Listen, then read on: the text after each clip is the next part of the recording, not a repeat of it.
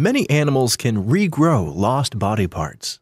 Starfish can grow new arms, newts and salamanders can grow new legs, lizards can grow new tails, and planaria, a type of flatworm, can even grow new heads.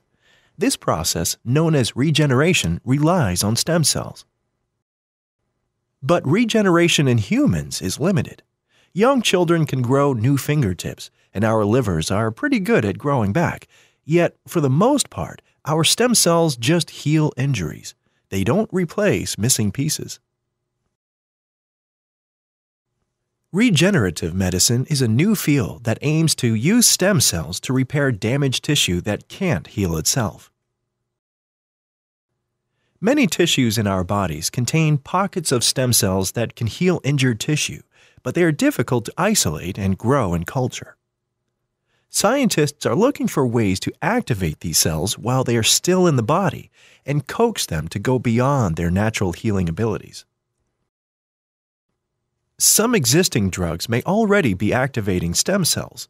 A few antidepressant medications stimulate the growth of new neurons in the brain, and these neurons most likely originate from stem cells scientists may be able to develop new drugs that will activate other types of stem cells to heal damaged tissue. Another approach to regenerative medicine is to grow stem cells in a lab and transplant them into patients. Building on technology developed for bone marrow transplants, scientists are developing new ways to use somatic stem cells. They are also looking at embryonic stem cells and induced pluripotent stem cells, both of which can give rise to any type of cell in the body. Embryonic stem cells and induced pluripotent stem cells live indefinitely in culture, where they can be grown by the millions.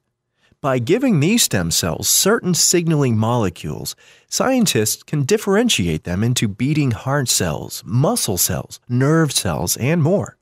Someday, scientists may transplant differentiated cells like these into patients where they will grow new, healthy tissue.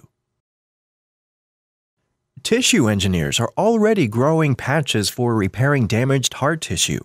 In animals, they are working on growing whole hearts, livers, lungs, and kidneys. Stem cell transplants show promise for treating spinal cord injuries. In rats, neural stem cells were injected into damaged spinal cords, where they wrapped around injured nerve cells and improved the rat's ability to walk.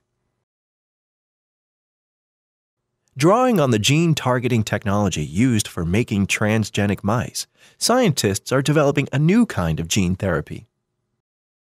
First, doctors isolate cells from a patient with a genetic disorder and create induced pluripotent stem cells. Next, the defective gene is replaced with a functional copy.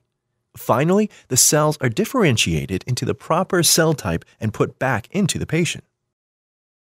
This process has been used to cure mice of sickle cell anemia, suggesting this approach may also work in humans.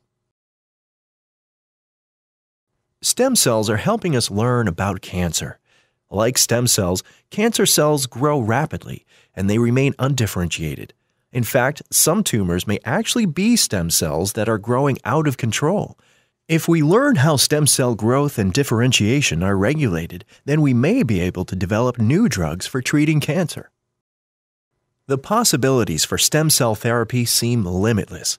As researchers continue to explore the factors that control stem cell behavior, they are discovering the true potential and limitations of using stem cells for therapies.